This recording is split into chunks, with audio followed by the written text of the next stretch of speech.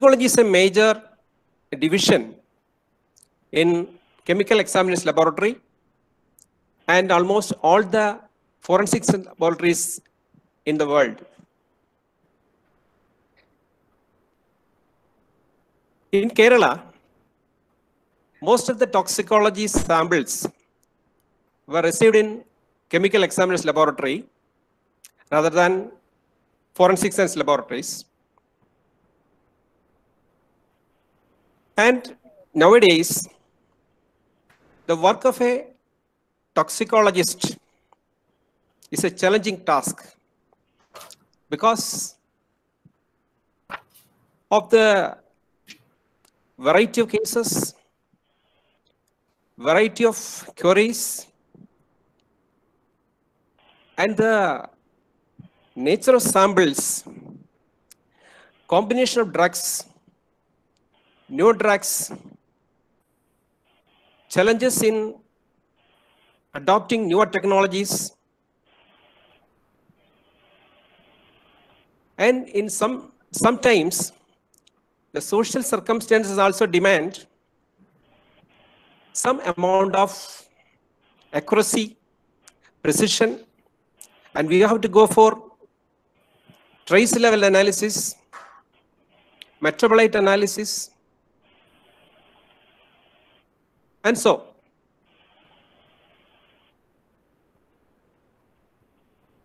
I have, I have a few words about my department also.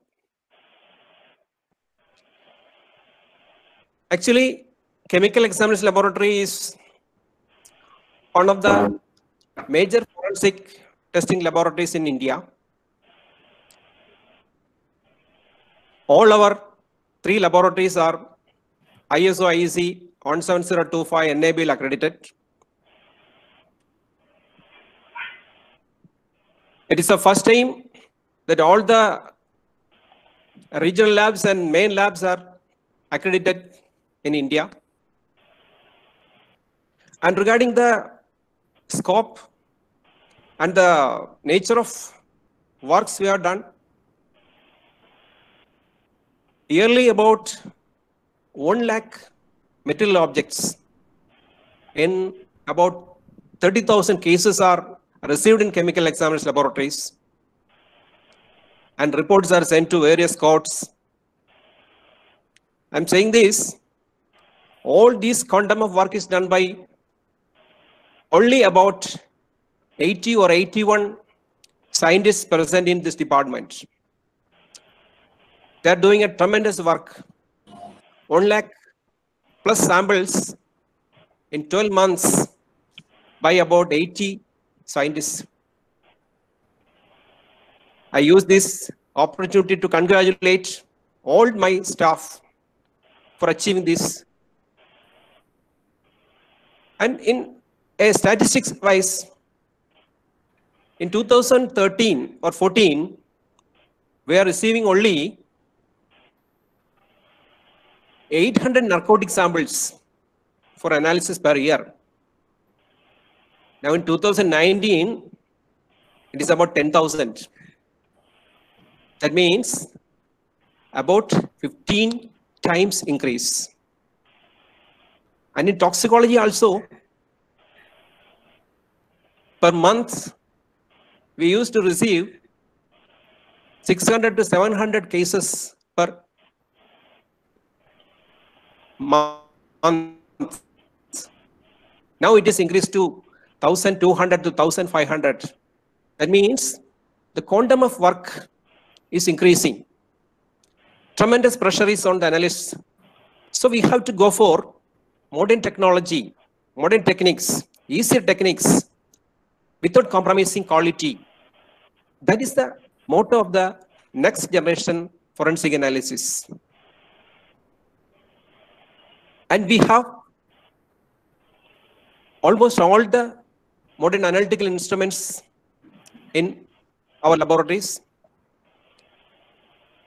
GCMS, LCMS, FTIR, UV, GCs, and almost all modern analytical instruments are available with us.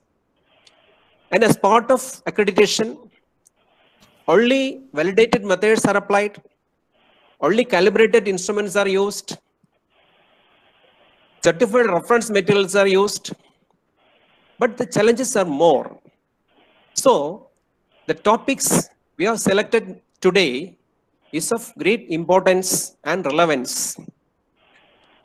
Because every time we have to go for new techniques, validated methods, easier methods to compensate for the challenges we are facing.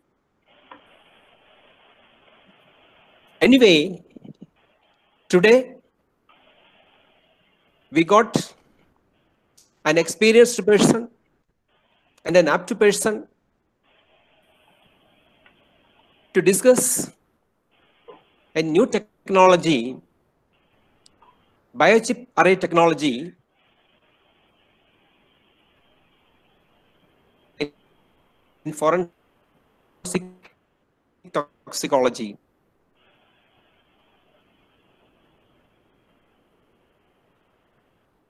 We are of this method for our the detection of drugs, alcohols, etc. in body fluids. You, you all know this extraction and detection from body fluids. If this method is suitable, we can go for it.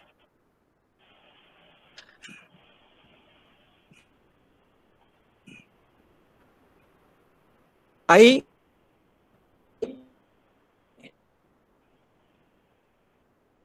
appreciate the organizers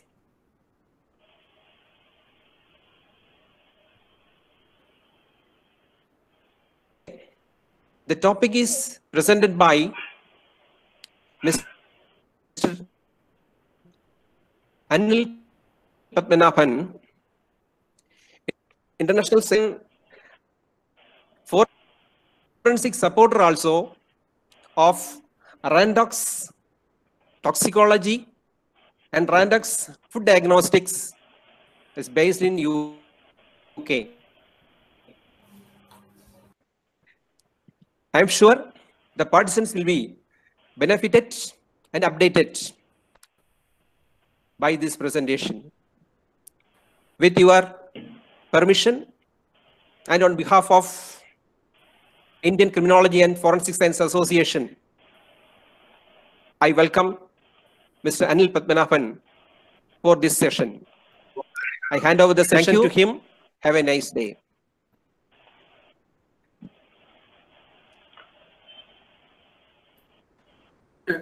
Thank you, Dr. Jayakumaran and Dr. Siva Prasad for this wonderful opportunity.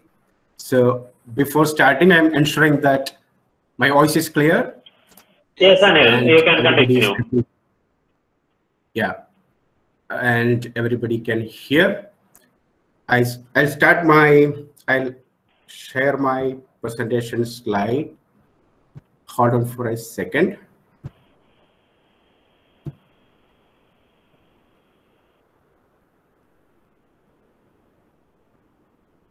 I believe my slide is visible in your screen now. Yes, Anil, continue. Please continue. Yeah. So, ladies and gentlemen, good morning to one and all. I normally go to the presentation directly wherever I do. I mean, I just go to Randox and I start my presentation. But I was thinking yesterday, like, uh, that is not the proper way here because when I started talking with International, sorry, Indian Criminology and Forensic Science Association, I think around six months ago, I really felt a difference because I I'm a member in few international associations where I felt I really felt a difference with the ICFSA.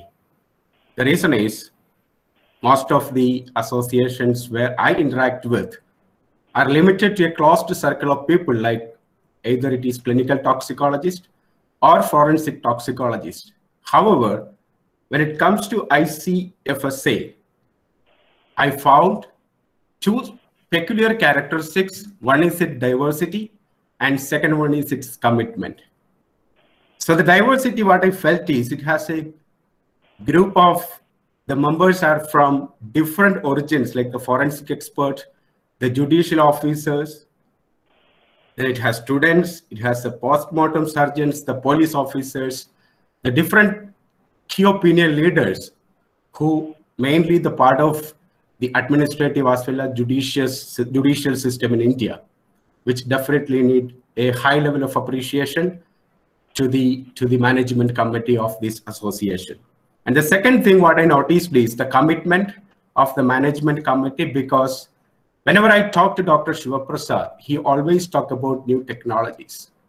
So the concept of transformation through technology, when he discussed with me, I really felt that the effort he is taking to present and empower the members with the new technologies, updated informations, etc., to, to strengthen the community is also need a high level of appreciation. So I thought I would I would appreciate this and then I will move forward with my presentation. So once again, on behalf of Randox, it is purely a scientific company with a strong research and development team based in UK.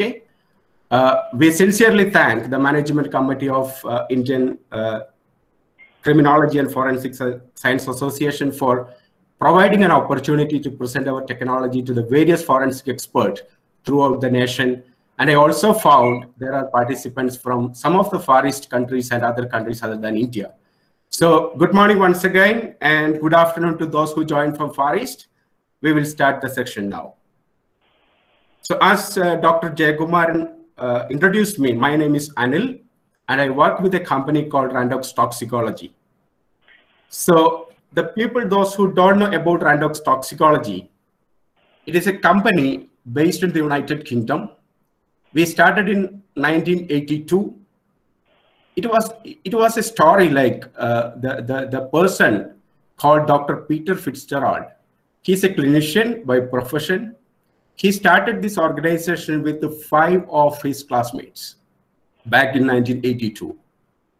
And the objective of starting the company is to manufacture the clinical chemistry reagents. And in the last past, it developed its own technology and grown into five different verticals. And that are the Randox Clinical Chemistry Division, Randox Toxicology Division, Randox Food Diagnostics Division, Randox Bioscience, and Randox Health. So if I brief you, the Randox Clinical Chemistry Company, it is the world third largest clinical chemistry provider uh, today. And Randox Toxicology is the company where I am working, and we are talking about the product today. Randox Food Diagnostics and Randox Bioscience is relatively new, smaller within the company. However, it helps a lot to ensure that the food what we are eating every day are safe. We we provide the testing solution for food, ensuring that our foods are antibiotic free, steroids free, hormone free, pesticide free, etc., etc. So I mean mycotoxin free, etc., etc. All I mean the food. It's very difficult to get a clean food today. All of us know about it. People are worried about pesticides, but pesticides are just one factor. There are so many other contaminants which harm your health a lot by eating the food eh, what we are eating every day. So we provide the testing solution for that. Then Randox Bioscience is very noticeable nowadays because the entire world is going through a very difficult time. We are fighting against an invisible enemy called SARS coronavirus or the so-called COVID-19. So Randox Bioscience is basically a molecular vertical of our company and it provides molecular solutions for the detection and diagnostics of various virus pathogens which harm our health uh, in, in day-to-day basis. So we developed a proper testing for COVID-19 from nasal and throat swabs, which we will be discussing later. And one of the peculiarity of Randox Bioscience is the test which is developed for COVID-19 by Randox Bioscience is the high, having the highest sensitivity which is available in the world today. It is 50 viral particles and with a high specificity. As Dr. Jayakumar and sir mentioned little while ago, the sensitivity, the specificity are playing a very vital role in providing the accurate results for the diagnostic test. So we are committed to that there. And Randox Health is basically a, a kind of uh, uh, hospitals, clinics, and testing laboratories. We thought of having uh, these facilities around the world. We started with the US and UK. Uh, and we had a plan to start one in Singapore and one in Dubai, but I'm not completely aware where we stand with that, but that is a division called Randox Health. Now we move forward to Randox Toxicology. So in my knowledge, this is the only one dedicated toxicology company exists today in the world. I ever never heard there is a company which is dedicated for toxicology market. So Randox Toxicology is purely a scientific organization with a very strong research and development team, dedicated toxicology company.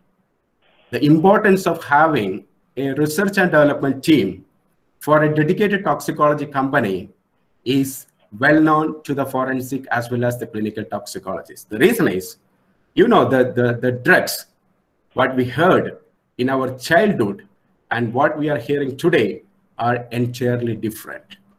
We heard about amphetamines, barbiturates, we heard about cocaine, we heard about heroin, we heard about uh, various common drugs in the past when we were a child. But today, it gone into a different industry where the natural drugs are more expensive, more difficult, but the world changed to manufacture or world starts to produce the synthetic drugs, so-called the new psychoactive substances, which is more available, easy to get, and everywhere in the world. So the importance of having a strong research and development team is to find out which are the new drugs coming into the market and to find, find out a, or to provide a proper solution to test those drugs as soon as it arrives in the market. So our research and development team are very keen in developing assays for the newly developed drugs. And with this capability or with their capability, today we are capable of detecting more than 600 drug compounds, which is the world largest toxicology test menu than any other company existing in the world. We developed our own technology called biochip array technology. So this is a patented technology from Randox it is our own developed technology. So how does it work? If you look into the slide, you can see a white square here. The real size of this white square is 9 millimeter into 9 millimeter. That is 9 millimeter square. That is the physical size of this biochip. And this white square is called one biochip. So in this entire cartridge, you have nine different biochips. Here, you can see the magnified view of one single biochip. So as I said, this white square is called one single biochip. And here, what you're seeing is the magnified view of single biochip. Inside the biochip, so inside this white square, you can further see so many white colored dots. And each dot is called a test region. We called, I mean, Randox people call it as discrete test region or DTR. You can easily call it as test region.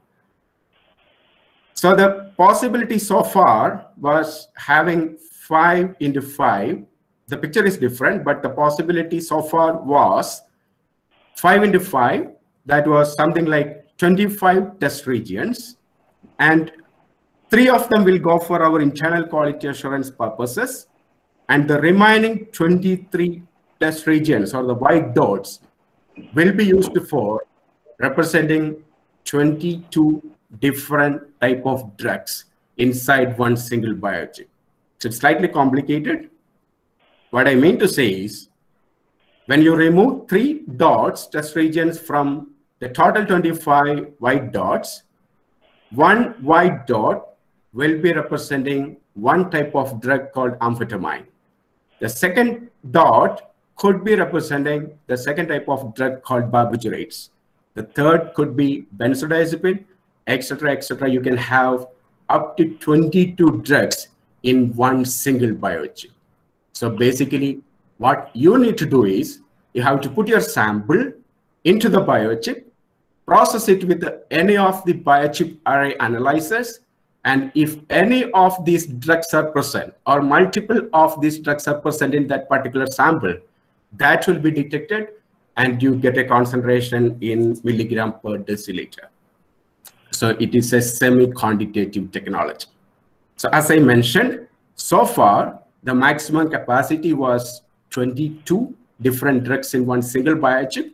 However, our research and development team has recently found out or produced a new biochip which has 49 test regions. So in the same size of 9 millimeter square, today we have 7 into 7. 7 into 7. Participants, please make sure that your audio is mute. Anil, please continue.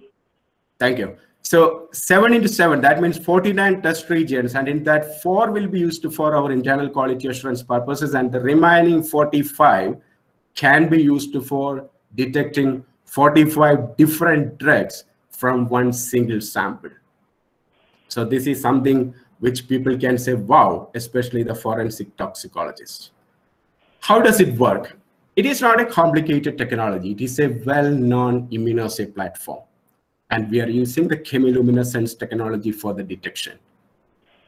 So the target antibody is coated in the surface of the biochip. So if you can see the surface, I mean, the, the, the slide in the screen, this is the surface of the biochip. So this is the white square. And there are four discrete test regions are displayed here. So you can have up to 45 test regions in the surface of a biochip.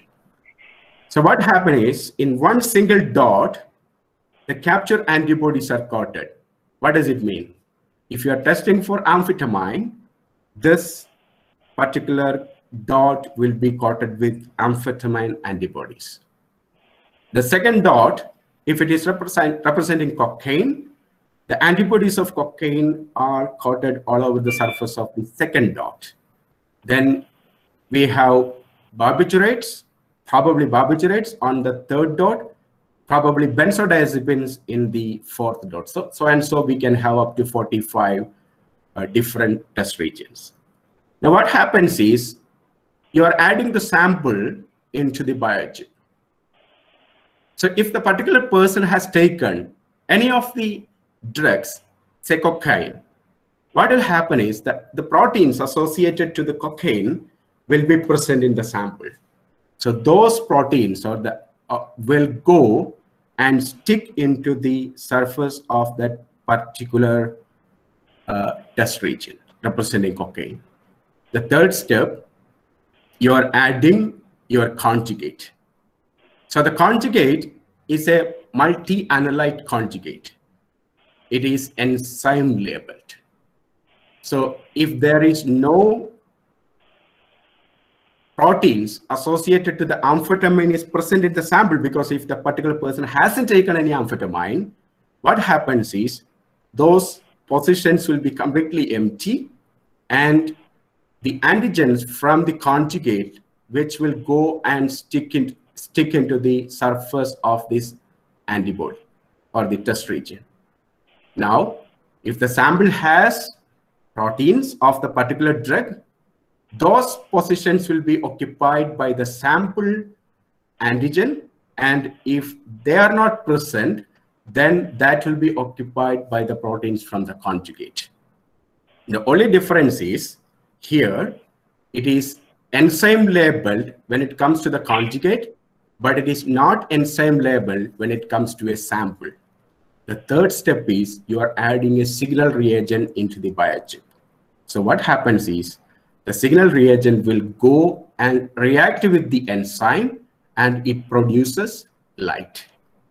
So wherever you have the antigen antibody complex formed by sample, there will be enzymes And as a result of the chemical reaction within the signal reagent, a light will be emitted from the discrete test region.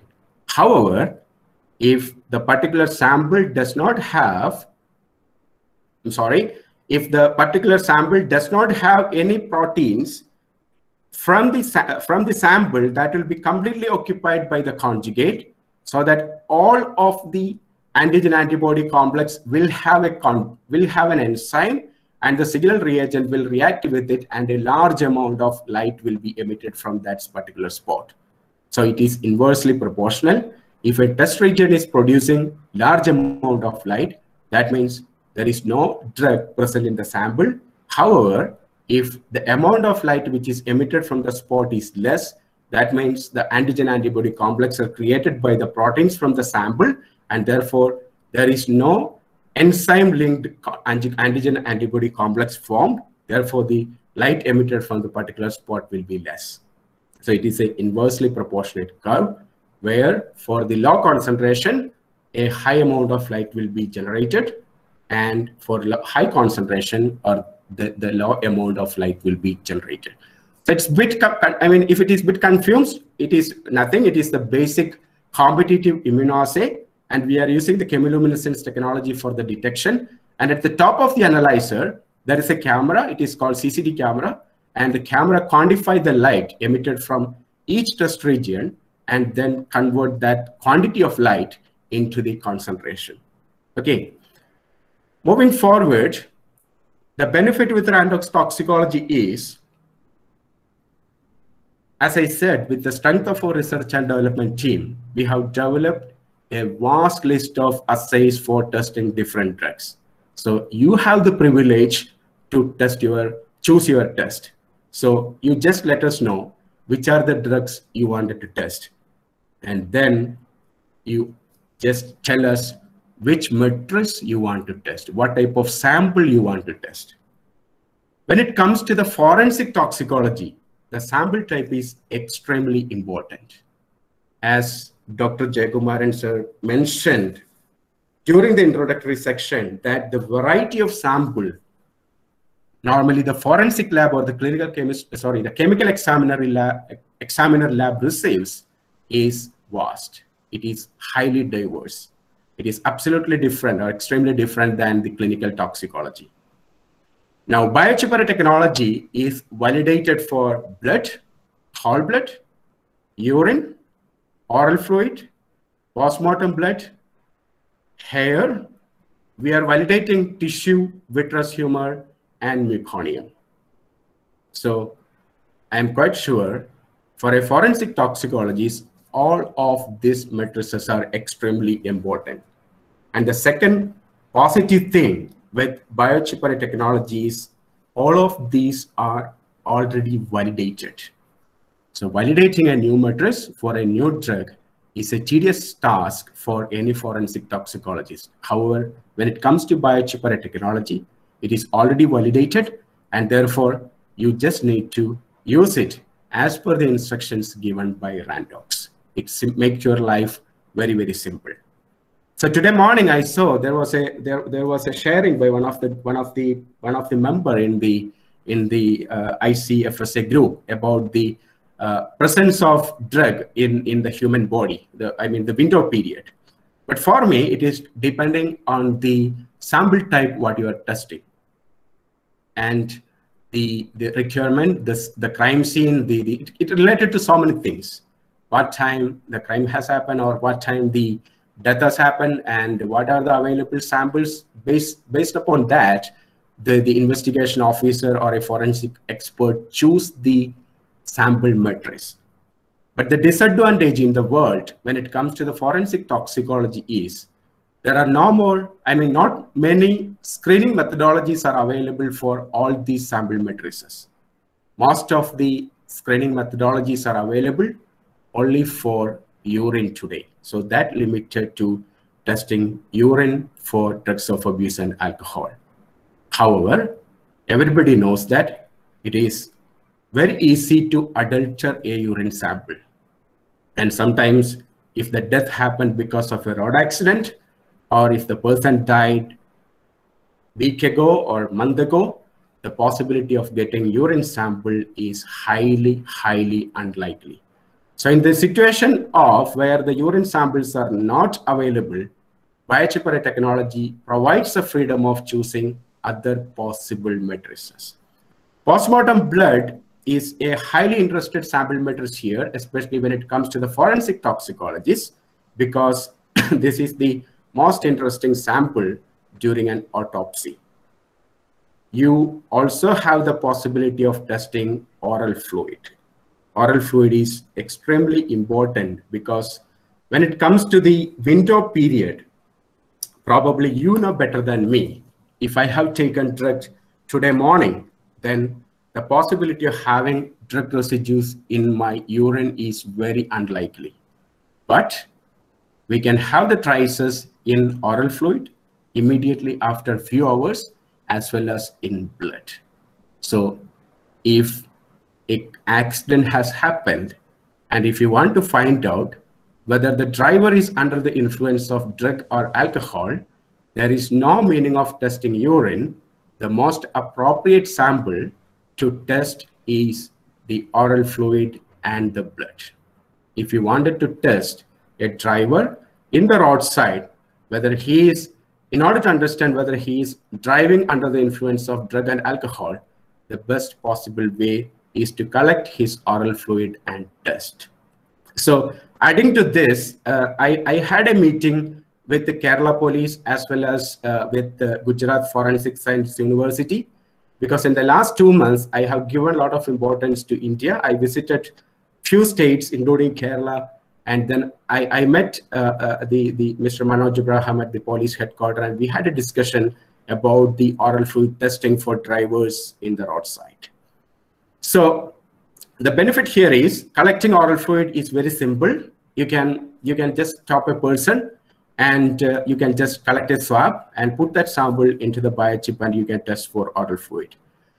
Uh, so many cases, I don't know the situation in India, but when I visit uh, the, the, the, the, countries, especially the Arab countries, Middle Eastern countries, there is hell a lot of difficulty to get urine because culturally they have to have a toilet and you know accessible accessible to the water and the most disadvantage here is when the guys goes to the toilet for collecting the urine. And if the water is available, there is a possibility you can dilute urine. Thereby, you can dilute the concentration of the drug, and then you can mask the mask the drug. But when it comes to biochip, you have a biomarker called uh, creatinine. So if the if the urine is adulterated, if you add water or anything else into the into the urine, that will be detected during the testing. It will come back and say the analyzer will come back and say that the sample what you're using is not a perfect urine, it's an adulterated sample. Yeah. Hair is important because, as I said, if a dead body is being recovered after a month of death, getting biological, I mean, getting body fluids from that particular dead body is absolutely not possible. So if the particular person has hair, there's a possibility can have a chip and then you can also have an idea whether the particular person has been intoxicated or not. Now, collecting the hair is very, very important. And hair samples gives a lot of information, like uh, probably you know better than me, but uh, if you have six centimeter long hair, it can give you the prices for the drugs what the particular person has consumed during the last six months. In my understanding, the first one centimeter from the scalp gives the drug consumption for the last one month. And the second one centimeter gives the prices of drugs what he has consumed during the previous one month. And the third one centimeter gives the prices of drugs what the particular person has taken uh, around two months ago or in the, in the last three months. So this is important because if you're going for an interrogation or an investigation, it also helps you to find out which are the different kind of drugs this particular person has taken in the last six months. Because the fourth centimeter gives you the prices for cocaine. That means the particular person has taken cocaine four months ago. And then probably the second centimeter uh, gives LSD. That means the particular person has taken LSD before 30 days. Something like it helps you a lot to trace out the history of the particular drug the particular person has taken in the past. Okay, again, it's all are validated and you just need to use the samples according to the instructions given by Randox. The most beneficial advantage here is you do not need to do a sample treatment or a sample preparation. This is really making the life of a forensic toxicologist is to very simple manner because any analytical instrument need a prior sample preparation for any of the samples what you're going to test. However, oral fluid, blood, postmortem blood, and urine can be directly pipetted to the biochip without any kind of sample treatment. This saves a lot of time. And of course, when it comes to hair, it is a solid sample. So you have to do a uh, pretreatment in order to do, I mean, the extraction of the sample. But the procedure is not very complicated. I have the procedure with me. So at the end of the presentation, I have, I'll, I'll be sharing my contact details. So if anybody interested to know about the hair testing and the sample treatment procedures, I'll be able to send you that procedures to you. Yeah. So moving forward, Randox has multiple biochip analyzers. So the objective of having multiple analyzers is to provide a suitable solution to different laboratories based on its requirement, based on its work volume. I mean, the number of samples they process in a week or in a day or in a month. So we have a small analyzer called Multistat, which is fully automated, suitable to manage up to 10 samples per day. And this is validated for blood, urine, and saliva. So any of these samples can be tested on this small analyzer, where this is most suitable to manage up to 10 samples in one single day. Investigator is the second analyzer in the row, where this is a semi-automated platform. However, this is capable of managing up to 30, 40 samples in a day. So if, if your laboratory is receiving something like up to 40 samples or 30 samples, then I would recommend to go for an investigator platform. If your laboratory has more than 40 samples in a day, then the best choice is to go for an evidence or an evidence plus. Basically, there is no difference between these two analyses. Both are almost the same, but this is much more advanced. We launched this last year, and the analysis is very fast in this analyzer. So if you need, if you have more samples and you need to get the results more faster, I would always recommend to go to Evidence Plus, which is slightly expensive than Evidence, but it serves the purpose of having something like up to 250, 300, or up to 400 samples in a day.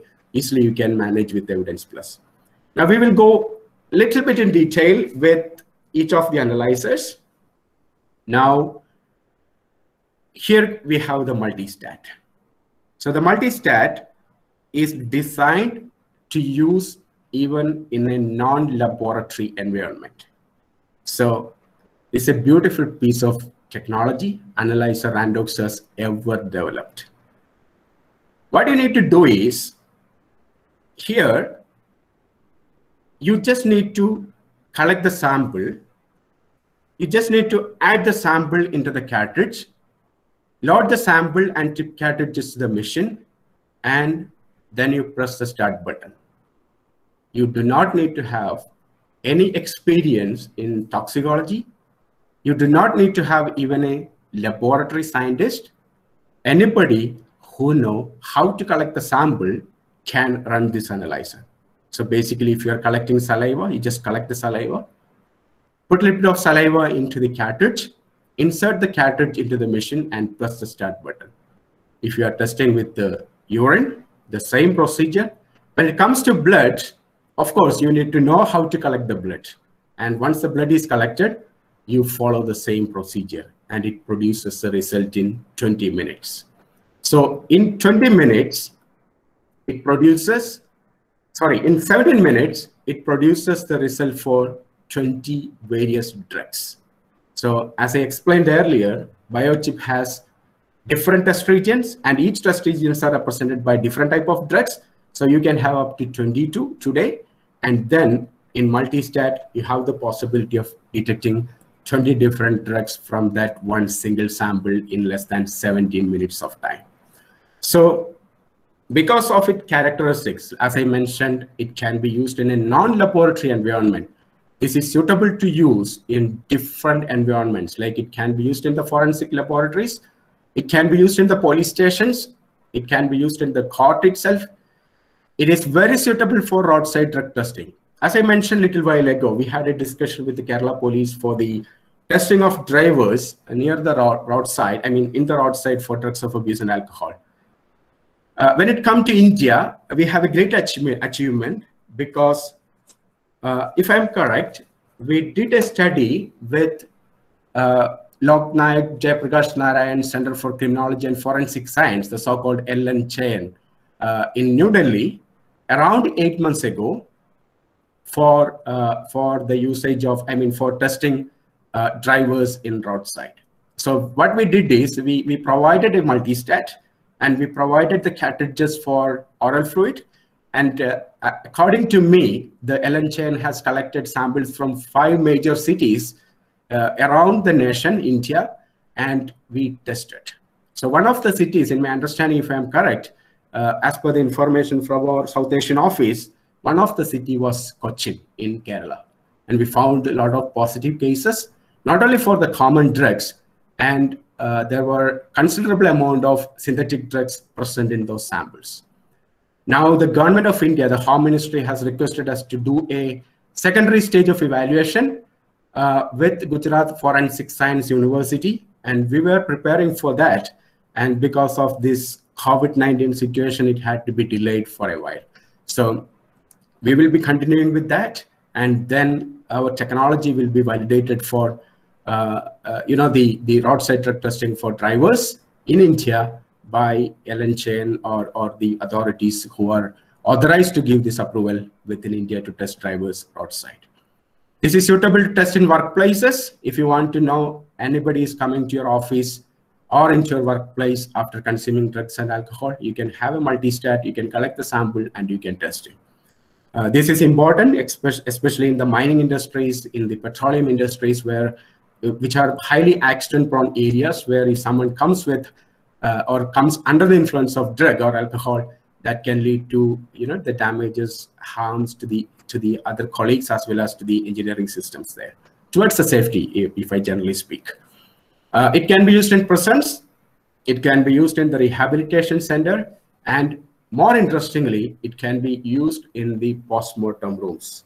So during my discussion with the most of the post-mortem surgeons throughout the world, not only in India, wherever I go, I, whenever I speak to a postmortem surgeon, one of the difficulty, normally they say that we do a postmortem today and we send the samples to the forensic laboratory and the results come back uh, probably after six months. I won't blame the forensic laboratory here. The reason is the huge workload. And most of the time, the postmortem samples what people receive in the forensic laboratory, 80% of them, or more than 80% of them, would be negative. Only 20 or less than 20% turns positive. So if you have a multi-stat in your postmortem facility, you can check the postmortem blood during the postmortem itself, during the autopsy itself, and within 17 minutes, you can identify the positive sample and you just need to send only positive samples to the forensic laboratory for further analysis on an analytical system. All the negative samples you do not need to send, or even if you are sending, you can mention that we tested for all of these drugs and those turns negative. So if you want to test for any other drugs, then you can go for it. But on the other hand, it is a negative sample. That reduces the stress on a forensic lab a lot.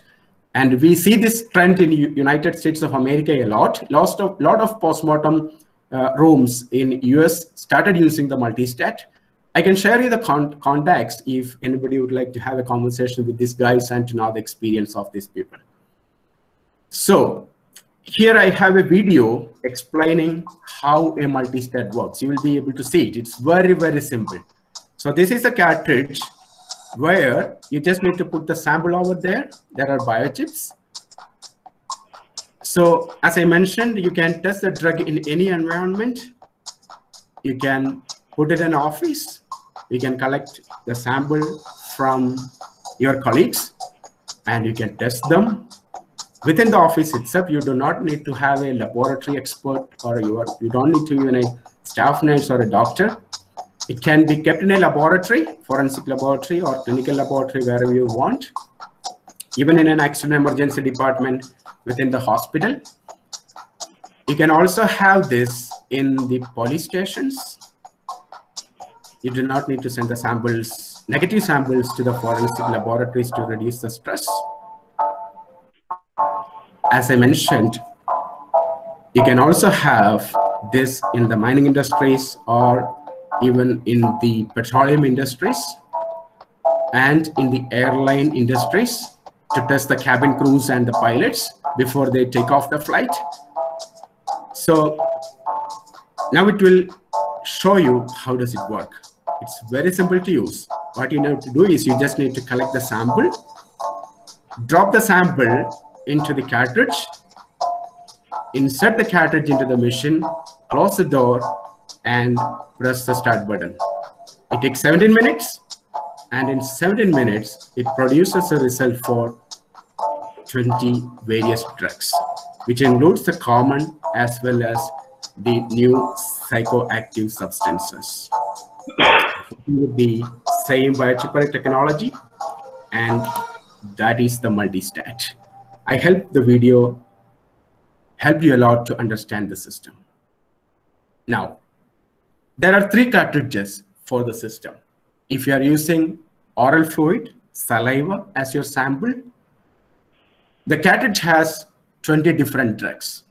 So if you look into the menu, from that single sample in 17 minutes, without any kind of preparation, you have the possibility of detecting Flakka, alpha PVP, you have amphetamine, barbiturates, benzodiazepine 1 and 2, basically oxazepam and lorazepam.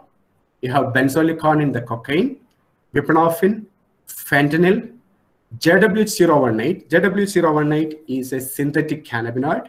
You have ketamine, you have LSD, you have methadone, you have methamphetamine, you have opiate, you have oxycodone, you have phencyclidine, you have pregabalin. Pregabalin is a very, uh, I don't know the reason, it is widely abused in Middle Eastern countries. I'm not sure the situation in India. I had discussion with uh, some guys in if I remember correctly, in Chandigarh, and they were concerned about pregabalin. So we have pregabalin on board. We have THC.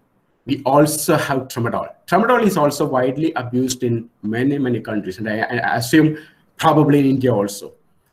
We have UR144, XLR11. This is again the synthetic cannabinoid. And we have 6-MAM, that is a heroin metabolite. So when it comes to LSD, I recently uh, listen uh, to one of the report came out from India that during the COVID-19 lockdown, since the alcohol availability was very limited or completely nil, uh, the, the abuse with LSD has elevated a lot. So LSD is widely abused in, in, in India. And there's a possibility here you can test it with oral fluid. That means hell a lot of guys who are driving in the street under the influence of LSD can be captured via roadside drug testing on their saliva sample. If you are moving forward, if you are using your whole blood and urine as a sample, it is almost a similar panel, but there are few differences. Here you can test ethyl glucuronide. Ethyl glucuronide is the alcohol metabolite. So if somebody is under the influence of alcohol, you can test his blood and it produces the result for alcohol along with the other drugs. So this is really benefited because normally the forensic toxicologists or clinical toxicologists are doing need to do separate tests for alcohol and separate tests for drugs of abuse. However, when it comes to Randox, In single biochip, you have the possibility of testing a person for blood or urine for alcohol along with the common drugs. It also includes Abipinaca, or some people called it as Pinaca. Abipinaca is a synthetic drug. Then you have also UR144 XLR11. This is another synthetic drug. You have JW018 here. You have the methamphetamines, TCA, pregabalin, and tramadol also. So if anybody is interested to test pregabalin, tramadol, and synthetic drugs on blood and urine panel, it is a comprehensive test panel already with Randox. Moving forward, that was multistat. And the investigator, as I mentioned, it is a semi-automated platform, which is suitable to test up to 30 samples in, in one single day or 30, 40 samples in one single day. What does it mean by semi-automated? Semi-automated is slightly different than multistat. Here, you need to pipette your sample, you need to pipette your reagents, then you need to do the incubation by yourself, and then finally you need to add your signal reagent, and then you insert the cartridge into the machine. So uh, the, the technician need to work a bit. So this has to be used only in a laboratory environment. It cannot be used in a non-laboratory environment because you really need to have a laboratory expertise here because there is a calibration involved, there is a quality control test involved, and there is a test protocol involved. When it comes to multi-stat, it is electronically calibrated, so you don't need to calibrate it. Um, then quality control test is also automated while doing the test. So you don't need to do a separate quality control test. If you want, you can do it, but it is not mandatory. But when it comes to investigator, it's all involved. So you need to have a laboratory expertise to run the system. Yeah, but it is a uh, very, very, very simple and very useful system for a forensic lab.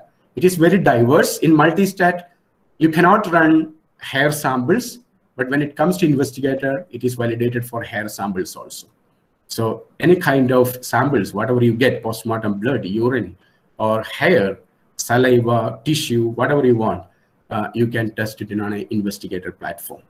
Uh, in India, we have uh, three investigators installed already. One is in the prestigious Mumbai Forensic Laboratory. Uh, one is in the All India Institute of Medical Science, New Delhi and the other one is in the Goa Medical College. So uh, we are in final discussion with a few of the forensic laboratories, I think including the Jaipur, uh, Jaipur Forensic Lab, Chandigarh Forensic Lab, uh, etc. So my South Asian office knows better than me. So there are a few coming in the coming days. Uh, we are also planning to do a evaluation of uh, technology with the Gujarat Forensic Science University, as I mentioned earlier. Yeah. So next is the evidence analyzer. As I mentioned, evidence is something like for a huge workload, something like 40, anything above 40 to, I can easily say up to 400 samples in a day. So here you have two sample carousels. One has the capacity of 90 and the other one has the capacity of another 90. So altogether you can keep 180 samples in one single go. The reagents are loaded here, the biochips are loaded here. You have the waste container, etc., etc. here. Here, if you if your institution has the has the laboratory information system or what how can I say the barcode system, you just need to put the sample barcode on your test tube and put those test tubes in the sample carousel and you just go and start the run. The instrument will read the barcode it will communicate with your server and will identify the identity of the particular sample and it will do the test completely and transfer the result back your back your server saying that for this particular case number or the particular sample number these are the drugs turns positive the one of the benefit which i mentioned uh, which i forgot to mention is the cutoff so we normally work with the, the international cutoffs according to the EU regulations. However, if any country has a different cutoff regulation for any drugs on any sample matrix, we are able to adjust it. So there are two ways. You can let us know in advance so that during the manufacturing stage, we can set the cutoff to the desired cutoff what you want in your country or in your laboratory. Secondly, you yourself can do it in the software. So during the analysis, uh, oh sorry, prior to the analysis, if you if you want to change the cutoff, uh, there is a possibility that you can change the cutoff for any particular drug.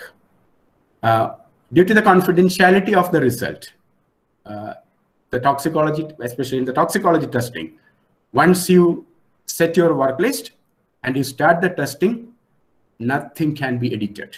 Once you start the testing, the results will be produced and even the administrator level user cannot do anything or can, can cannot do any kind of editing in the result once the test is accepted and start running. So this is to keep the safety and security of the result. So we covered the matrices, we covered the different analyzers. Now we are going into the test menu. So as I mentioned earlier, with the capability of Randox Research and Development team, we always proudly say we are the company holding the world largest test menu.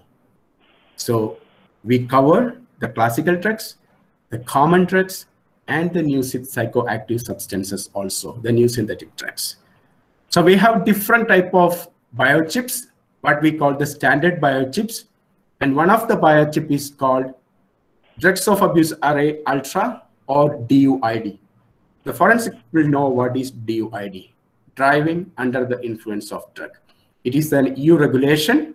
If you are testing a driver to find out whether he is under the influence of drug and alcohol, these are the drugs which is stipulated or recommended in the EU regulation. That is the DUID regulation.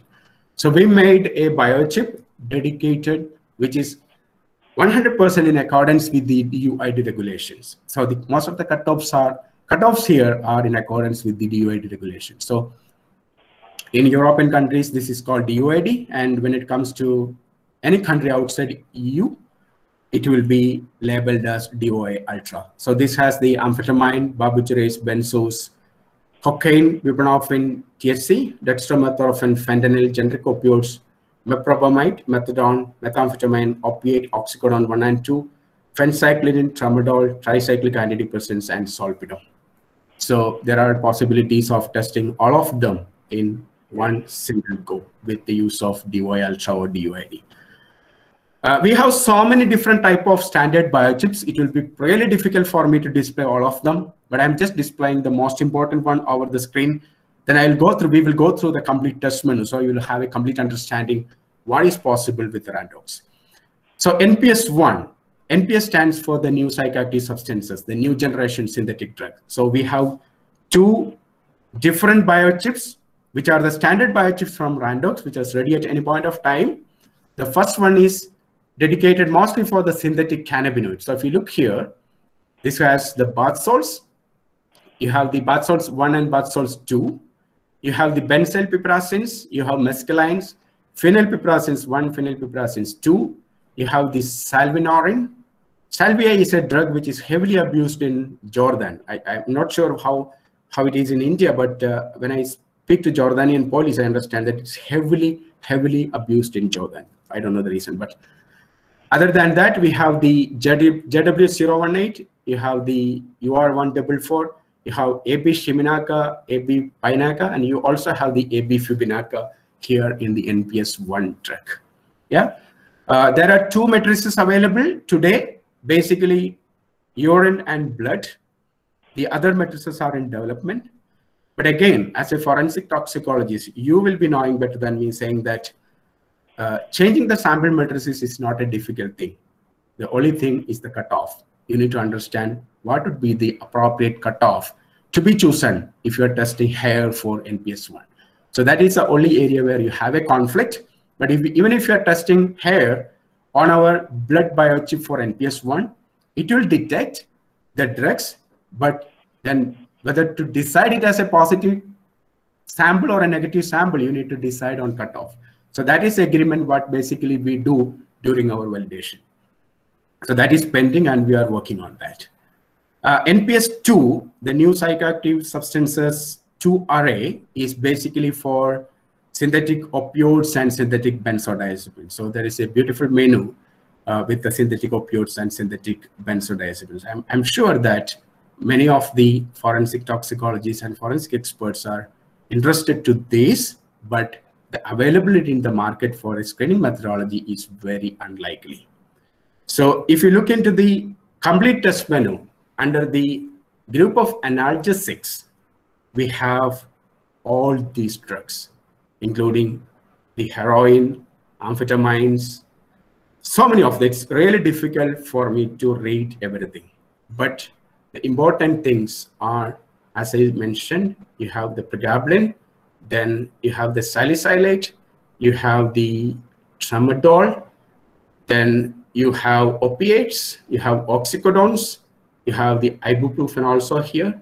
So, so many and so many of them. I'll share this presentation with each and everyone so that you will have the complete test menu in your in your in your in your in your laptop.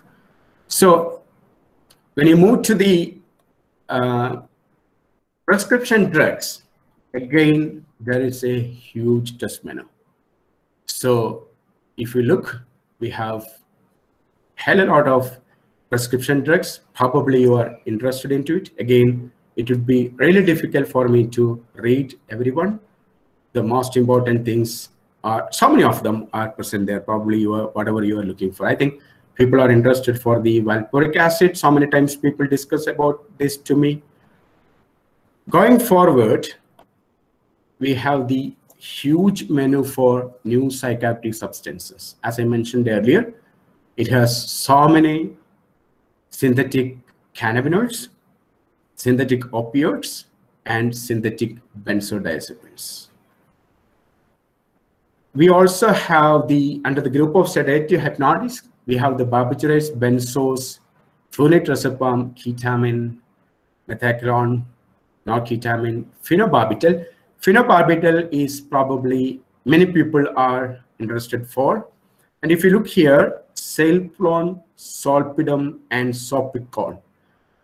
I think these are the drugs. Some of them are really interested by a forensic expert uh, while investigating a rape case. Because if somebody is sexually abused, uh, this is not to the accused, the victim will be tested for these kind of drugs because it, this is uh, sedative drugs which will help the victim to sleep, fall asleep very fast.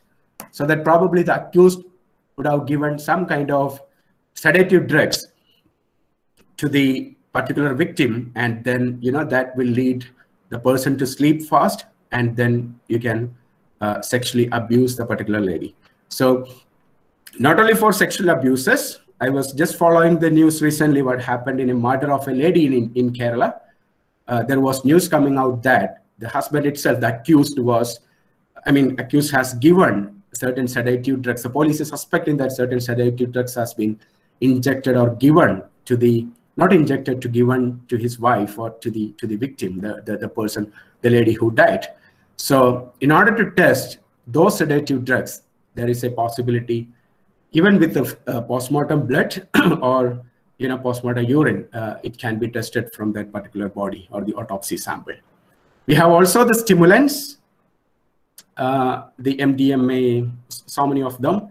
And then we have also the other test menu. As i mentioned there is gabapentin.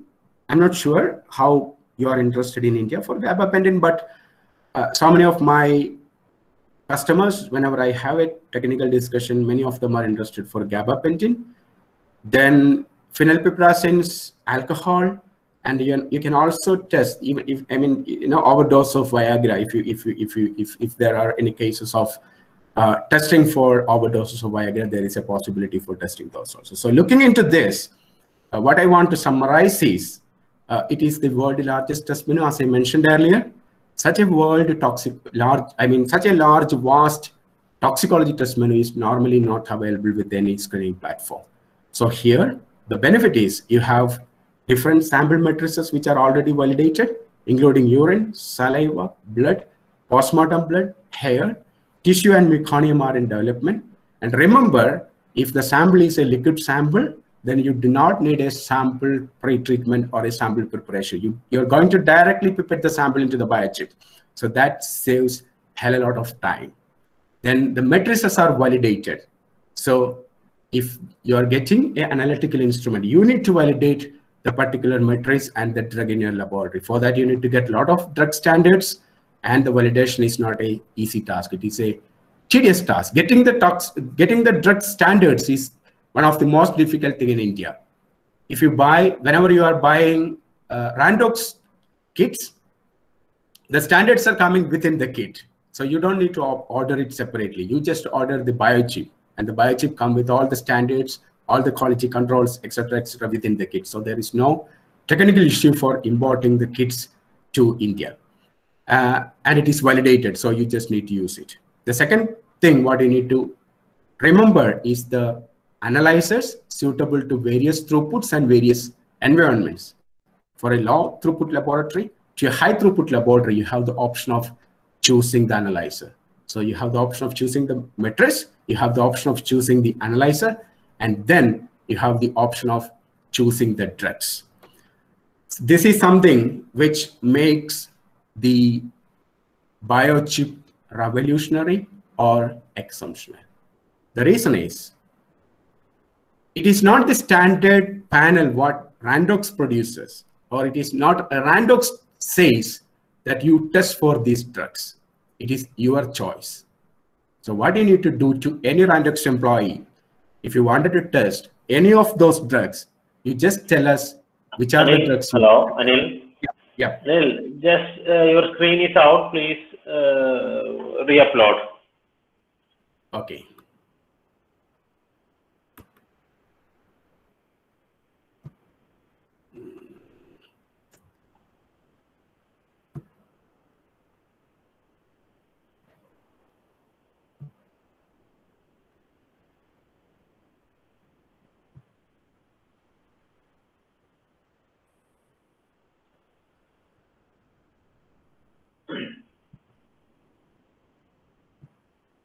Anil, it's not yet ready. Please Yeah, re-upload. I'm, I'm, share- I'm sharing it Oh. now. Okay, Yeah. Is it visible now? not yet. Is it now? Yeah. Yeah. Yes, carry So on. you are in the, you are in the customizable test menu screen, isn't it? Yes. Yeah. So as I mentioned, this is one of the biggest advantage with Randox that you just need to tell which drug you want to test. You, you tell us the panel. I need to test the common drugs. I need to test the sedative drugs. I need to test the synthetic drugs or the combination of all these. And we make a customized panel for you. Anil, Anil, sorry to interrupt. Uh, your Yeah. is again out. Uh-huh. Mm. Some persons are accidentally uh, sharing their screen. Ah, okay. Okay. I'm sorry for that. Uh,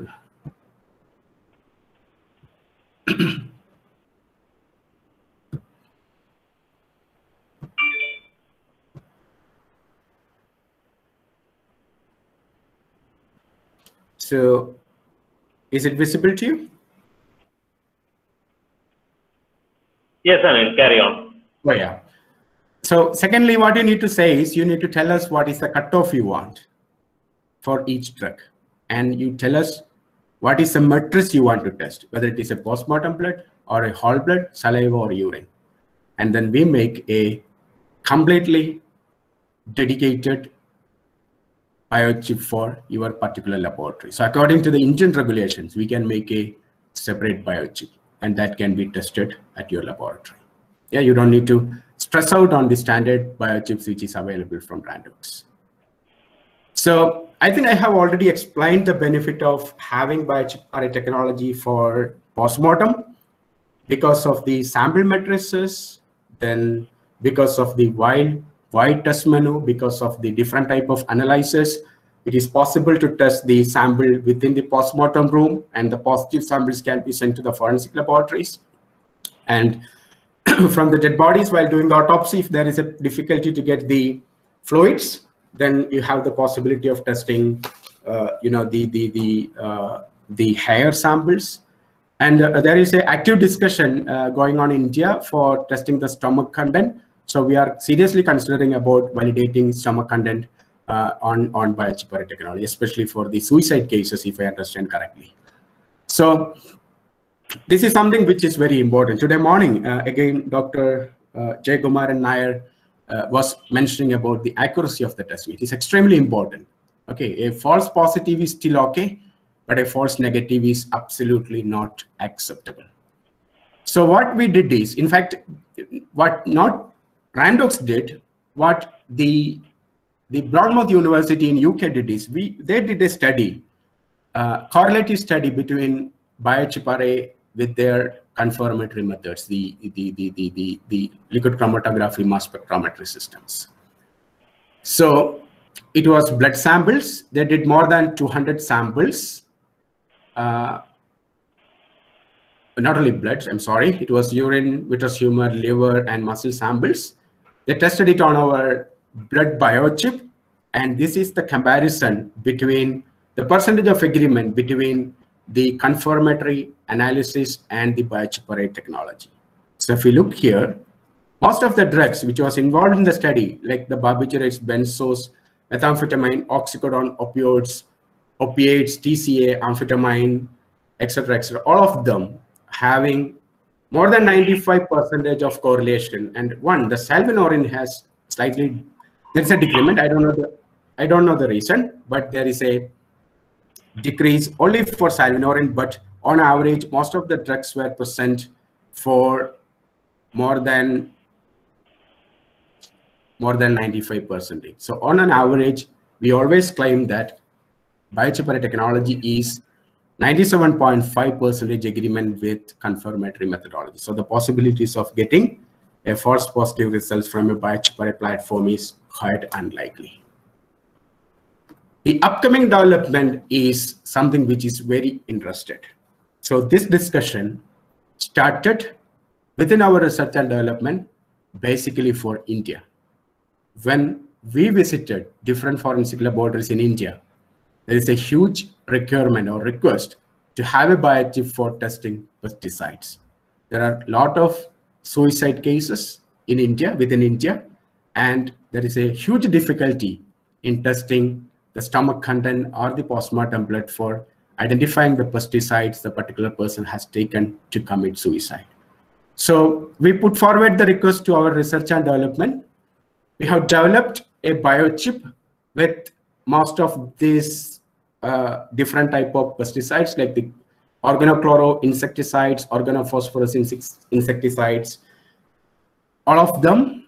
And cyanide and methyl alcohol is in development. That is the reason why I put this as a yellow color here.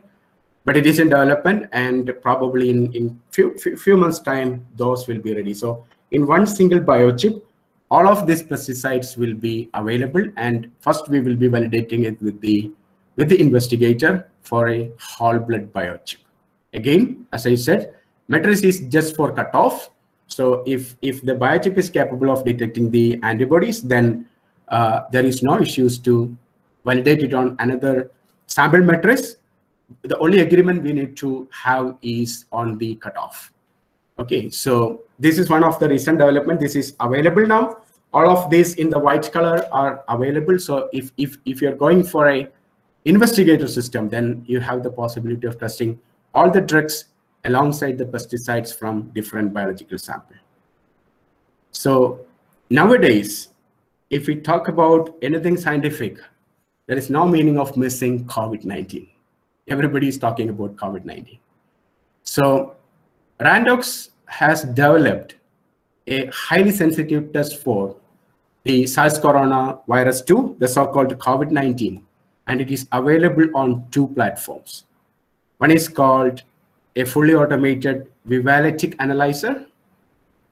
This is very similar to multistat, if you remember. And we have COVID testing in the investigator platform also. So investigator is semi-automated, Vivalytic is fully automated. So Vivalytic is as similar as multistat. You do not need to have a laboratory expert or you do not need to have a laboratory in fact. What you need to do is you just need to take the swab, throat swab or a nasal swab, pipette the sample into the cartridge, insert the cartridge into the machine, and in two and a half hour time, if the particular sample has the presence of SARS coronavirus 2 or COVID-19, that will be detected along with nine other viruses. So again, biochip is always a panel test testing. It is a multiplexing technology. So it detects the presence of COVID-19 from one sample along other nine viruses. The panel is important here. The reason is, assume that you have a symptomatic person. He has all the symptoms for COVID-19. But you can also have the symptoms with other flu. It should not be COVID-19 at all the time. So when you test with a panel, if it turns negative for COVID-19, you will directly get an in indication or information that which is the other virus he is infected with. So that makes a lot of relief to the healthcare facility, to the hospital, as well as to the particular individual. Because nowadays, if you cough, you suspect COVID-19 and you test, COVID-19 is negative. So directly give the indication or the result for the other virus he's infected for. So if you look here, there is something called surface swabs. Surface swabs is very, very important. So if you if you all know, I mean, I mean, not if you all know that there are only two ways the COVID-19 get transmitted or infected from one person to the other. One is a direct infection from an infected person. Like when he's sneezing or coughing, you have the possibilities of having the uh, aerosols, then you get infected for COVID-19. The second possibility is, the only second possibility is getting infected from a contaminated surface. Like a person sneezed or coughed, and the aerosols were in the in the surface or the the infected person touch the contaminated hand touch some of the surfaces and the surface is contaminated a third person or a second person comes and touch the same contaminated surface and get infected to the virus so a contaminated surface is equally dangerous as a infected person so in randox on biochip we validated for surface swab also. So you can take the swab from a surface, you can test it on our investigator, and you can find out whether the surface has, like in the offices, in, in, in wherever you want to test, you have the possibility of testing the surface also with our investigator system. So as I mentioned, this is completely non-laboratory environment. There are so many situations where, you know, probably the postmortem cases, if you want to test for COVID-19, uh, I don't know what is the protocol in India, but if you want to, there is a huge requirement in United States in the postmortem laboratories for Vivalytic nowadays. You don't need to have a RNA laboratory. You don't need to have a DNA laboratory. Uh, basically, you don't need to have a molecular laboratory. You can have a uh, Vivalytic in the postmortem facility, and you can collect the sample, put it inside the machine, and you can decide whether the particular person was infected with uh, COVID-19 or not. This is also possible with biochip array technology. This is absolutely um, outside the box of toxicology, but I thought this is the period where everybody talking about COVID-19, so I will share a slide of this. Yeah. Then something which is very important uh, with Randox is the customer support. So this is, I'm not pricing my company just because I'm working with Randox. I work with many other companies, but there is a huge difference when it comes to Randox toxicology. The toxicology testing is very, uh, it's medical legal.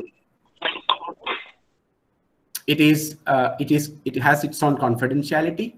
So whenever you have a system which need to be installed in your laboratory, uh, we will be sending one of our customer support scientists from our uh, Randox headquarters from UK to the facility to install the system to train on the assay protocol as well as on the management of the instrument.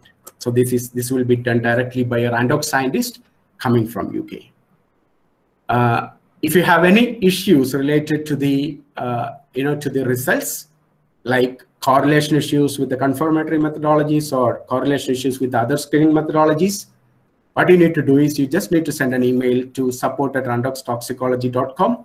There are 14 uh, customer support scientists 20, available in Randox 24 7, and you will be contacted with an email, with a phone call, or any other communication medium to assist and to troubleshoot on the issue.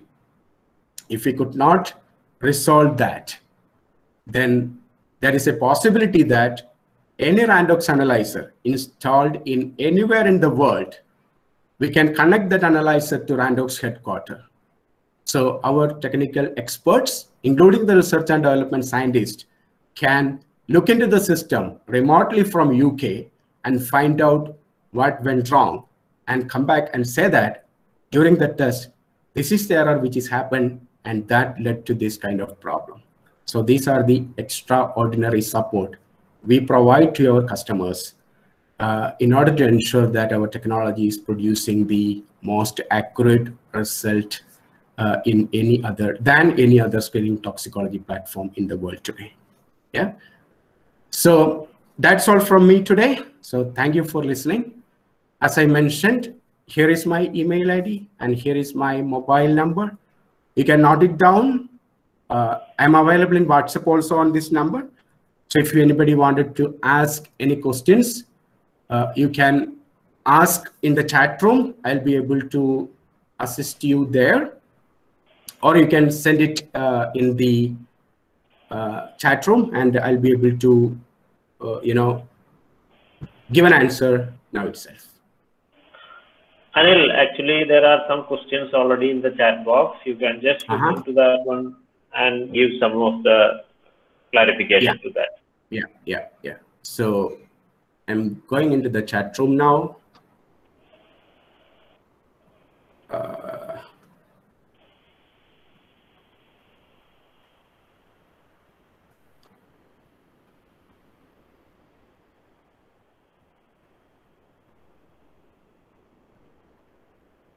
I'm looking into, I'm pressing into the questions. Sorry.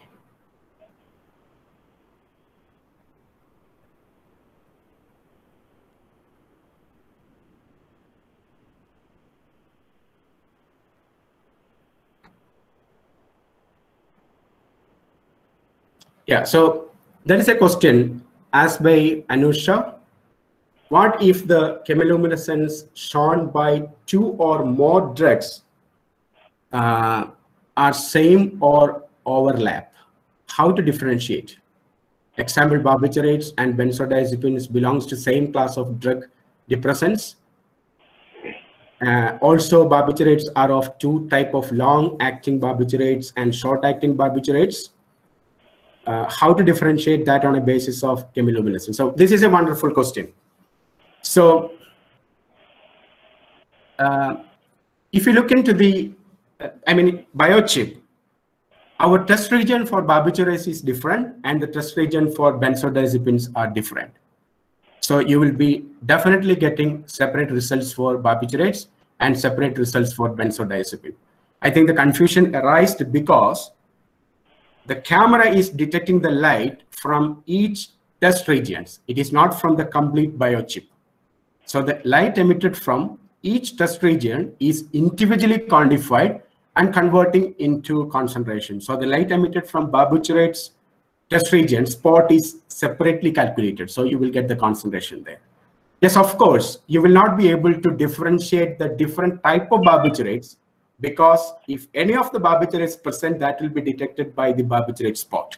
And that is the reason we say it as a screening methodology. So definitely, if you need to understand what type of barbiturates is that, classification of the barbiturate, then you will have to go to a analytical instrument. I, I mean, basically LCMS or a GCMS to identify the particular drug compound. I hope that answer your question. If you need further explanation, you can contact me over email. Uh, the next question is,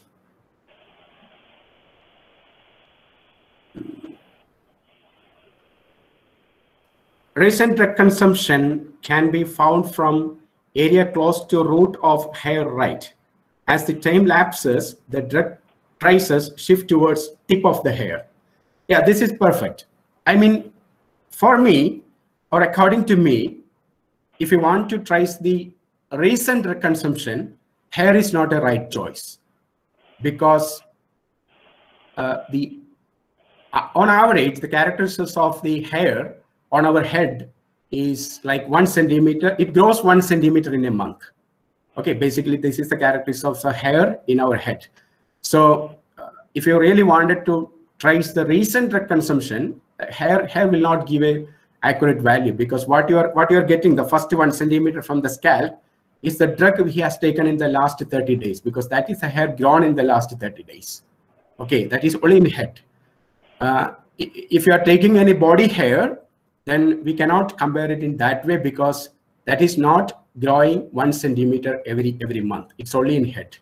So if you really wanted to test the drug consumption for the recent recent period, uh, you you need to test either saliva.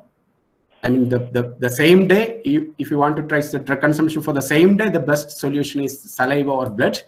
And for a week, two week, some of the drugs will be present in urine for two weeks also. So urine, blood and saliva would be the best option for testing recent drug consumption. Uh, the next question is, there is Afrin Sona. She's asking, using this chip for oral fluid analysis, would, would we get the percentage of alcohol present in the sample? Uh, no, we don't have ethyl alcohol on our oral fluid panel. So oral fluid, you cannot detect um, alcohol uh, in an oral fluid biochip. So if you want to test for alcohol, then you need to use either the biochip for blood or biochip for urine. And it is a metabolite, ethyl glucuronide. Yeah, I believe that answered the question. And there is a question from Sweda Singh asking, I want to know about hair testing. Oh, okay, it's a, it's a request. So Sweda, I would request you to send me an email so that I'll be able to share, or you can note down my number and you can share your uh, email ID to my WhatsApp so that I will be able to provide you the hair testing uh, protocol in that. The next question from Anchu is how biochip array technology is differ from ELISA, which one is most suitable? Yeah. So biochip array technology and ELISA is basically both are immunoassay. The only difference here is uh, we are multiplexing. So when it comes to drugs of abuse testing, especially in a forensic toxicology, you you you basically don't know what type of drugs a particular person has been taken or would have been taken. So in ELISA, it is monoplex. If you want to test amphetamine, you have to do one testing for amphetamine, the second testing for barbiturates, the second ELISA test for cocaine. So basically, if you want to test for 20 different drugs, then you need to do 20 different ELISA tests. And ELISA tests are normally less accurate because of the manual intervention. However, biochip is multiplexing. You have the possibility of having different tests run at the same time on a single platform. So the results are provided. And we have an excellent correlation study with the confirmatory methodologies already done by different universities around the world. And that already proven that it is a best and accurate technology for forensic toxicology. Yeah. Uh, the next question is spot detection. This is from Renjita Rajan. Rajita, sorry, Rajita Rajan. Spot detection of drugs are possible with this technology. Is it economic? Spot detection of drugs are possible with this technology. Is it economic? I, I, I don't understand what you mean by spot detection of drugs.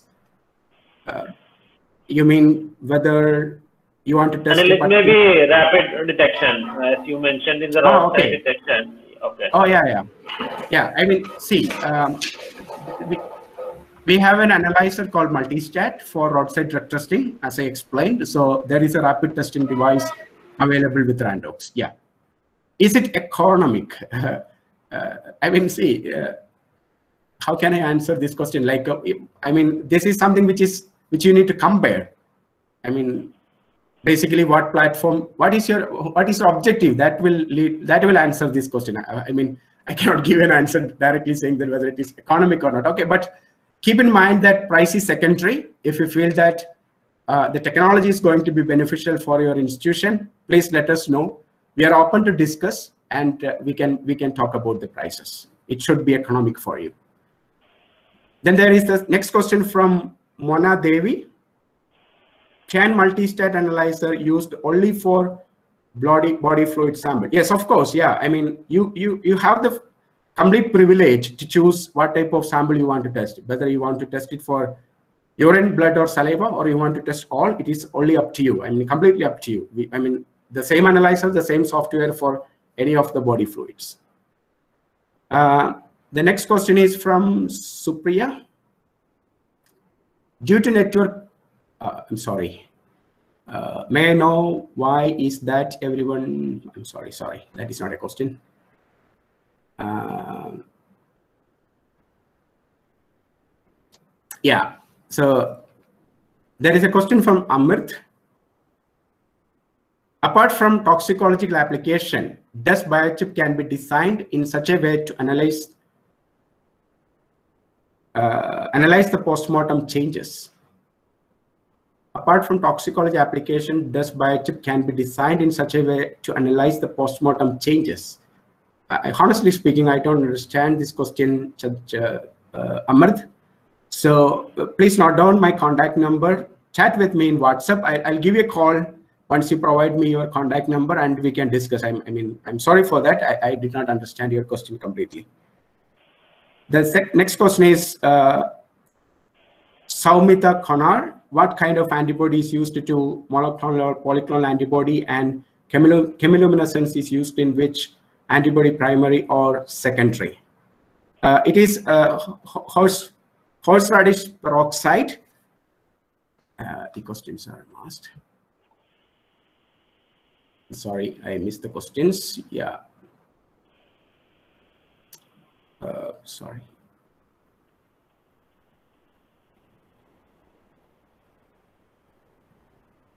Uh, and it's okay. You can go on to the next question. No problem. Ah, okay. So completely gone. You will provide your contact details to the participants. Yeah, so, so everyone, yeah. Yeah, yeah. Yeah, so there is a question from Rajalakshmi. If I miss any questions, as Dr. Siva said, you can email me. You said that there is no need of extraction procedure. Then after taking oral swabs, how can it be needed in the cartridge? Oh, yeah, this is uh, fantastic. So uh, if you know the oral fluid collection devices, you will have a swab.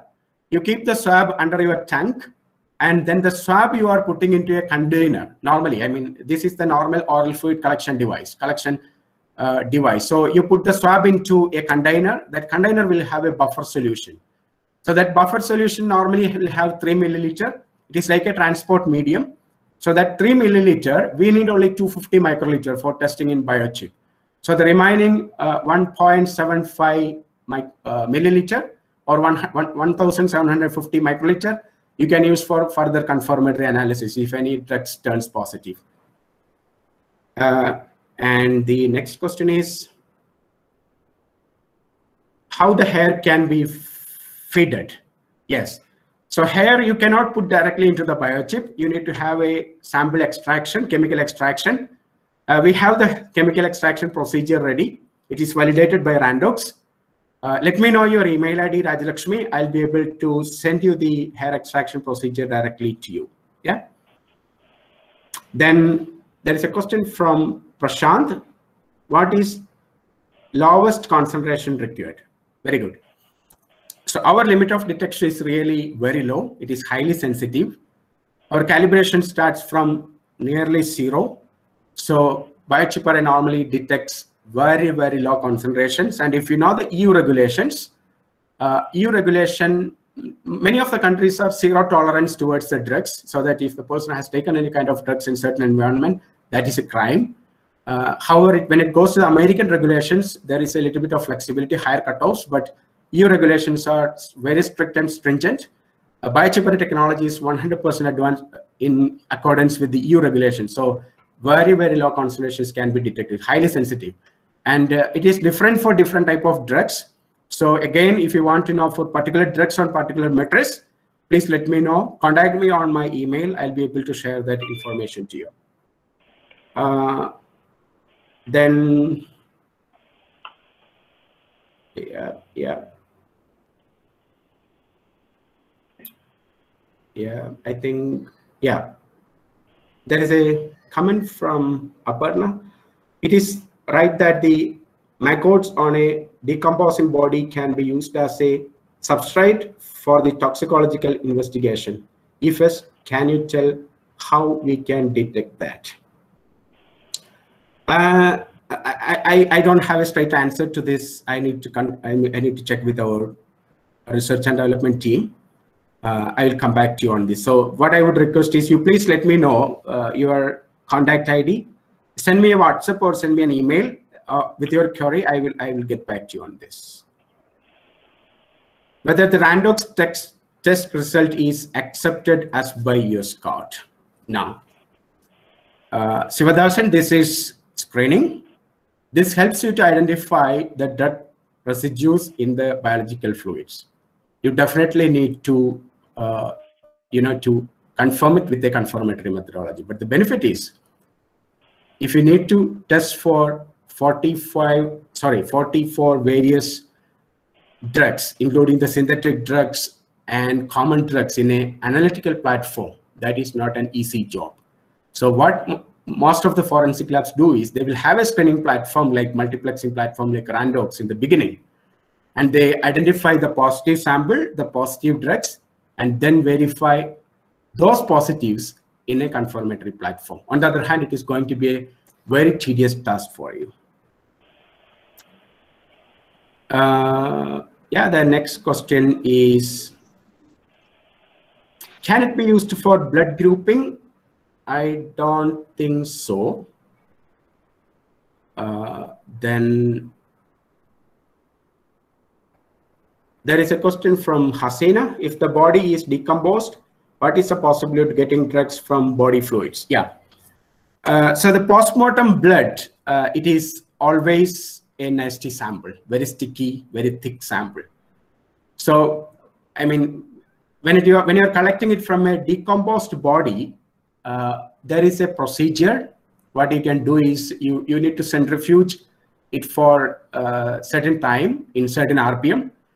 And uh, of course, uh, doing a centrifugation in a forensic laboratory is not, not a difficult thing. And then you can aspirate, uh, you know, 120 microliter from the top layer, and then you can pipette that into the biochip. So getting 120 120 microliter is a very small volume, and that is the required volume for blood on a biochip. So you just need to centrifuge and then aspirate it from the top, top part. Then the there is a question again, biochip is available for direct detection of drugs like LSD, MDMA, methamphetamine, cocaine, etc. other than body fluids. Um, yeah, the okay, I understand the question now. So she want to know whether we can use the use it for the detection of direct compounds. If you have a unknown unknown chemical compound and you want to find out whether it is LSD or MDMA. Yeah, I I, I assume that this is your question. Yeah. So no, we are. It's not validated basically. I mean, we we did not validate it for uh, the direct chemicals or direct compounds uh, what we detect is mostly the metabolites. Uh, however, uh, there are few forensic laboratories and universities using biochip for the detection of chemical compounds directly. What they do normally is they dissolve the, uh, the, the drug compound into a ne negative urine, into a truly negative urine, and test it on a, you know, on a uh, urine biochip. So it will detect the drug and then you can confirm it on an analytical platform. But it is not validated from Randox so that Randox will not take the responsibility for any wrongdoings in the result or in the assay protocol. Anil, uh, you can skip the repeated questions. Uh, we are out of yeah. time actually. Oh yeah, can you share that extraction procedure? Uh, yeah, yeah, yeah. So is biochip toxical technology available for animal toxins such as snake venom? Uh, so far, no, but it's a good thing we can consider. Uh, if you can, if you can share with me the real requirement, uh, I will I will have a discussion with our research and development team and see the possibility to develop that. It is something which is very interesting. Uh, biochip can be used for metallic toxins and plant toxins. Um, there are few, but not all. So let me know, Amard, which one you are specifically looking for. Like recently we developed assay for datura plants. Uh, this was a request came from Iraq. We developed it. So you, you just let me know which are which are the specific toxins you are looking for, and then I will come back to you. I mean, what is the possibility? It is possible. Uh, yeah.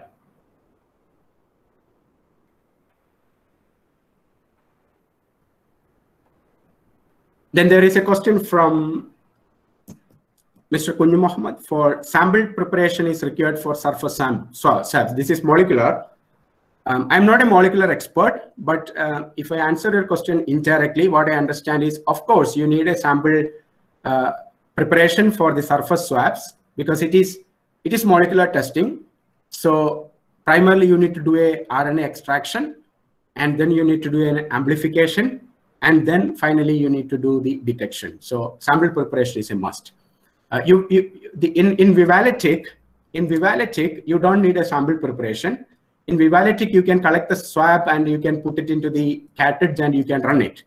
But uh, surface swabs uh, are not uh, will not work in Vivalytic. The reason is there is a internal testing going on in Vivalytic to find out the uh, human tissues. So if human tissues are not present in in the sample, then the Vivalytic will produce a error. So it will not produce a result. But on investigator, you can test the surface swabs. Um, and of course, you need a sample preparation. Yeah. So all those covers all the questions, I think. I'm sorry. Yeah, the contact number I have already shared. Biochip can differentiate different drug by different. I mean, there is a question from Pragati. I did not understand that question completely. You can ask me directly in my email. Uh, and then you can skip some questions. No yeah, problem. Yeah. yeah. So I think we we run out of the time. So that's from me whatever questions I did not answer, apologies from my side in managing the time. Uh, so you can contact me directly. And uh, once again, my sincere thanks on behalf of Randox Toxicology and personally to all the management committee organizers of Indian Criminology and Forensic Science Association uh, to give the opportunity to give us the opportunity to present our technology in front of the you know the scientific community in India.